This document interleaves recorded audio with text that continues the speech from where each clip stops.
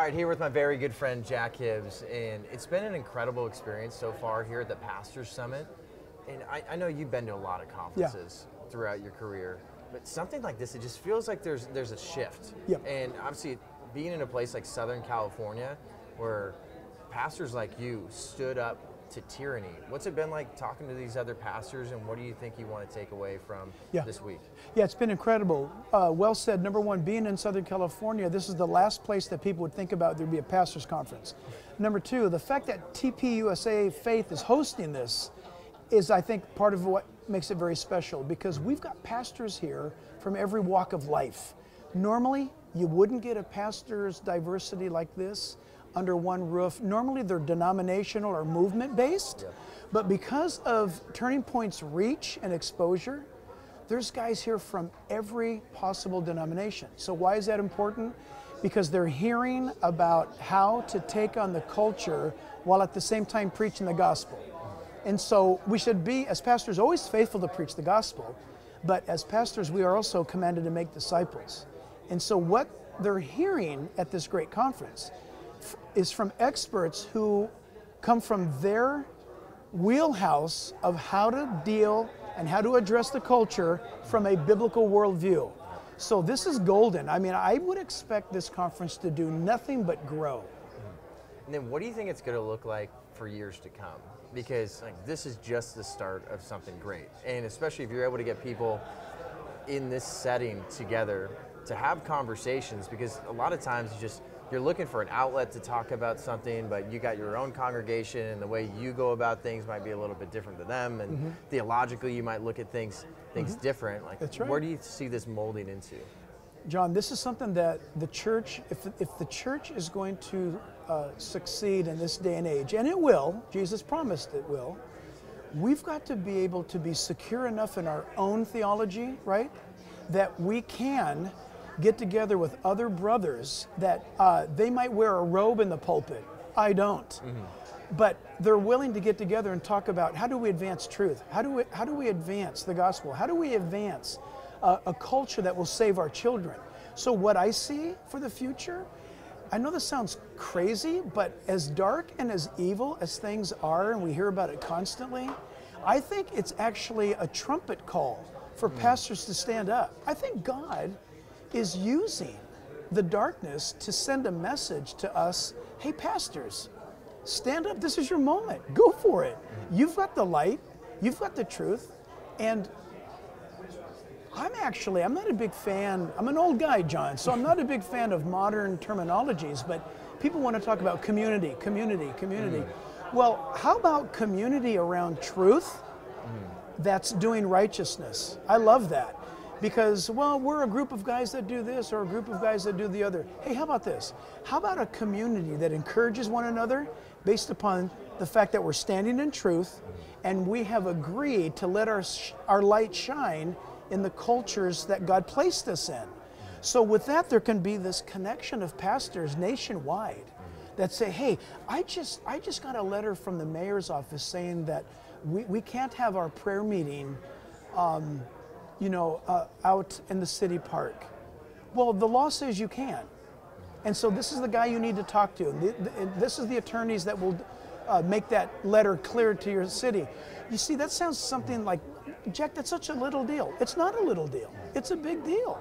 When you have that kind of connection where, hey, that brother had a network of answers for me that wound up benefiting our congregation and it's turned out to be beautiful. God honors that. Mm.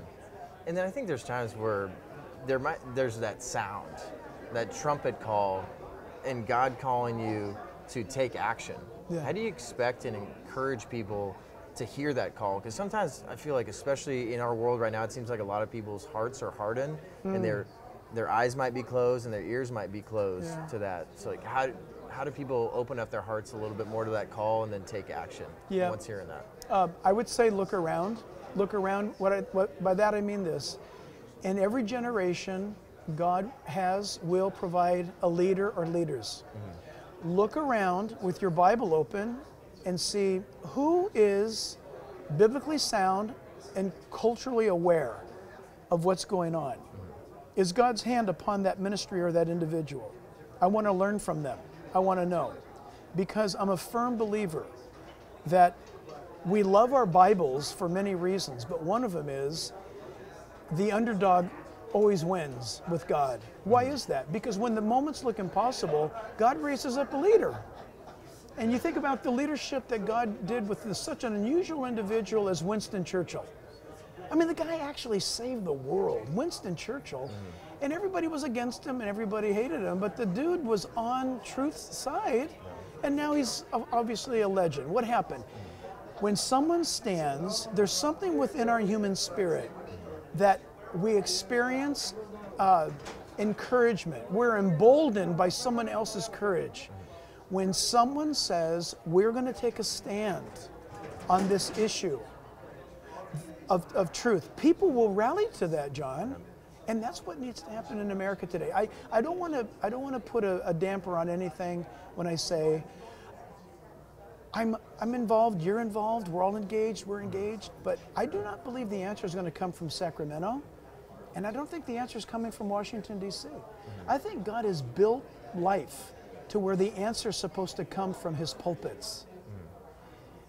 Mm. American history is a story about pulpits affecting the governance of man. Benjamin Franklin made that incredibly clear as John Adams did. It's awesome. So why are we elevating the ballot box more than the pulpit then? Because it's, I mean, obviously we great want question. We, we want people uh, in positions of power, Yeah. whether it's locally or We- you know right. federally, to be, you know, pro-life, on our side for freedom. We're commanded on- to do yeah. that. But it seems like there, there's a lot of people that feel like, well, you know, why can't we just start the ballot box here and then we'll hopefully they'll- that'll turn them to faith. But it's just it Yeah. seems like it's all flipped upside down right You're exactly correct, and we need to flip it right side up, which is this. In Proverbs 29, the Bible says that when the wicked are in power, the people groan. Mm-hmm. But when the righteous are in authority, the people rejoice. Right? Yep. The scriptures warn us over and over again to pray for our leaders, that they might be good leaders who do good, that we might live peaceable lives. For us to get involved in the culture and with those who make the decisions for our children and our children's children, some will say that's politics. And what I say back is wait a minute, who invented government? God did. Politics is man's prostitution of government. Politics is when man pimps government. The believer is the one that should be the custodian, the steward of good government, right? John Jay, the Chief Justice of the United States, first one, said it's wise for the nation to elect to themselves Christians.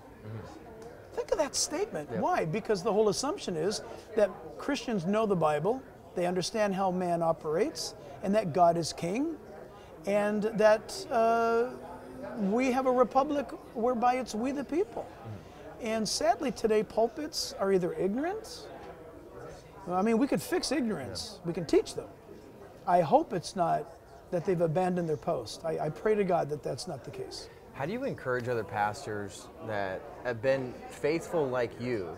And obviously, it's turned into plenty of people flocking to your church, but that turns into more social media followers. That turns into maybe new and bigger buildings. That turns into bigger tithes. Oh, yeah? Um, how do you make sure that they are still rooted, and how do you stay rooted your, yourself? Because obviously, you are called to be a steward of, right. of what you're blessed with. But That's exactly obviously, there's got to be times where you need to have accountability groups, and you need to figure out, you know, if God's given us this, how do we steward this in the best way?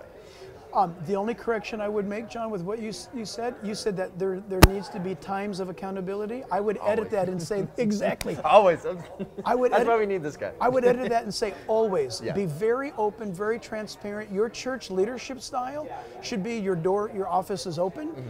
You should know your staff and you should know your congregation. After every service, you should be out there with them in the foyer or in the courtyard or parking lot, welcoming them in and, and saying goodbye to them when they leave. Why? Because this is awesome. So we have an extremely large church. Uh, our community is rather small. It's interesting. So wherever Lisa and I go, uh, people who are for us or against us, it's irrelevant. They know who we are, and they connect with us. hey, Pastor, I don't think you're right about this or that. Hey, you know what? Okay, thank you for sharing that. Or, hi, Pastor Jack, how are you? We need to be careful that we're not isolated in what we would wrongly call success. Big tithes doesn't mean big success. It means big, big stewardship responsibilities, and you need to bring more people in on how is this done rightly. Okay? And that's true about everything else. From hiring your staff, I believe that your staff should be people that you find in prayer meetings. That's where I find my staff is in prayer meetings. And so it's just being open among the flock. Jesus was always with the flock. He was never hiding out. And I think that by nature, you never have to have an accountability group because everybody sees you. Everybody Yeah. knows where we live. Mm-hmm. I mean, they literally know where we live. And so uh, just be like Jesus the best you can. That's what we strive to be, is be like him. And I think people can appreciate that transparency too, because I feel like so much now we there's so many conversations about faith and government right now, and then government it seems like there is no transparency whatsoever at Right. all. It's like here's a bill the Yeah. size of the biggest Bible you could find, Right, right. and it's like you got 15 minutes to read it. It's a yes or no, and then it's just you have disasters happening.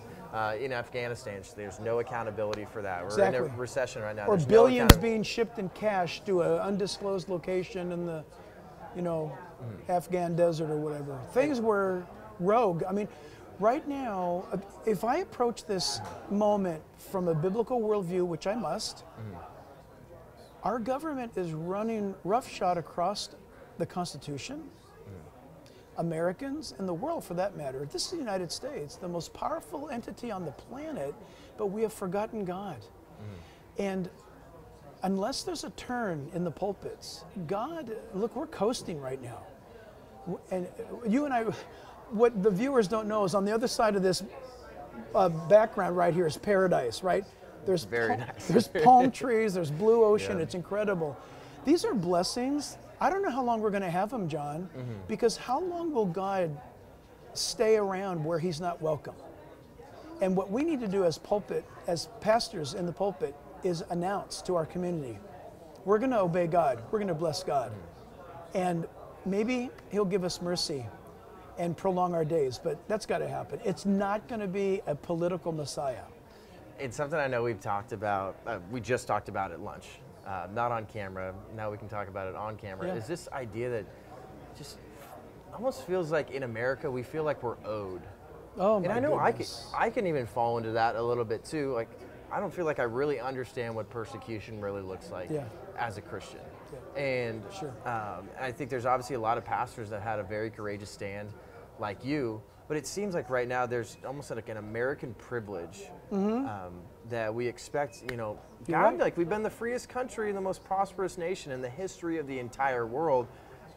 This is bad right now, but you'll eventually take care of us, right? Yeah, yeah, It- it's, gonna yeah, it's gonna get better, right? I mean, I mean, we might get a, a little bit more gas prices, but it's gonna get better, right? No. No, people need to realize that uh, Jesus is not an American. He doesn't surf here in San Diego. Uh, Jesus, the, the the God of the Bible, uh, he owes us nothing. Mm-hmm. In fact, if, in fact, with what Jesus said, to whom much is given, much is required. Mm-hmm.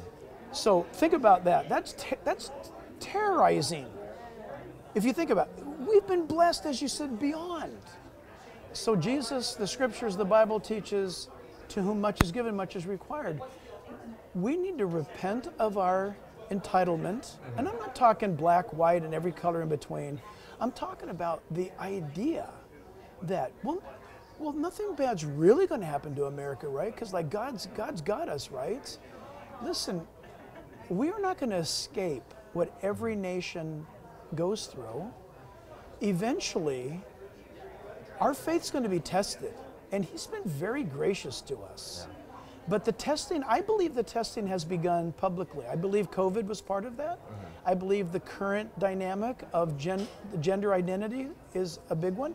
And I believe the pro life issue, all of this is almost like a winnowing of wheat from the chaff. And you see it most exposed or most revealed in the pulpit. Go to any church and listen. Go for four weeks and listen. What, does, what's, what are you getting from that ministry teaching? Is it five steps on how to be successful? Or is it this is what the Bible says about sin, righteousness, heaven, hell, joy, death, life, right? So, And the final question then would be how do you encourage other pastors to prepare and then to prepare their congregation? Because it seems like from what you're saying, which I think you could be totally spot on about, is we we might look at the pandemic and that's just a blip on the radar. absolutely. There, there could be so much more to come, and if we think that that was the major battle, Nope. and we just made it through, and here, here we go. Yep. We're just, we're going to be coasting from here on out. How do you prepare pastors? How do you prepare congregations? I would start with how God prepared Jeremiah. Mm-hmm. Jeremiah, you have walked with the footmen and you've become weary? You can hear God's tone. Jeremiah, you're tired? You've walked with the footmen and you're pooped out? What are you going to do when the Jordan begins to overflow and the chariots arrive? That's the word that I would say, Pastor. Is that not in the Bible? Yes. What do you think it means? I'd want them to tell me. And then I would want to encourage them listen. COVID and its dynamics, I'm talking I'm not talking about the sickness, I'm talking about Yeah. the politics of it. Mm-hmm. Was preparatory for what's next. So get ready. Don't be fearful. You need courage. Joshua chapter 1 Be strong and of good courage. The Lord thy God, I'm with you wherever you go. So get ready for the next thing. You don't need to be panicking about it. Just get ready for the next thing. And as you're ready, your congregants will follow your lead as you follow Jesus. And where do we get that from?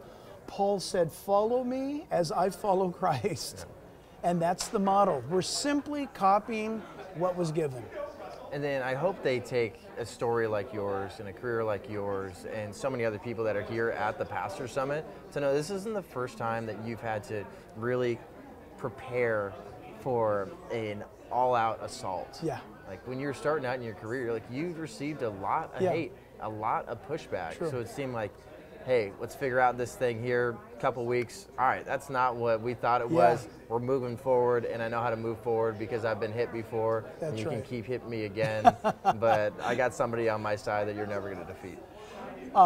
Mike, the, the, great, the great philosopher Mike Tyson said, uh, when asked, What are you going to do? What's your next strategy uh, regarding this next fight? And he said, Everybody's got a plan until they get hit in the face. And his answer was simply this If you have a biblically based plan that is second nature to you as a pastor, right? Then when the events of life punch you in the face, you can take it. Mm-hmm. You're not going to get knocked off point because you have been on point and there's like Peter said, Lord, where else do we go? You alone have the words of eternal life. Mm-hmm. So what happens now? I know this is going to sound crazy, Jon, but because I've watched God bring us through battles and vic- and those victories, the next situation, I don't know what it is. I, do, I just know this. It's going to be amazing. It's going to be a white knuckle ride. It's going to force me to draw closer to Jesus. And He knows the outcome. And I want to be with Him on His outcome, not my outcome, His outcome. Amen. So I'm excited about what's next, whatever it is. And then maybe next year we should try to get Mike Tyson to come here. Tell us how we Mike can take Tyson, some hits. Mike Tyson needs to be here.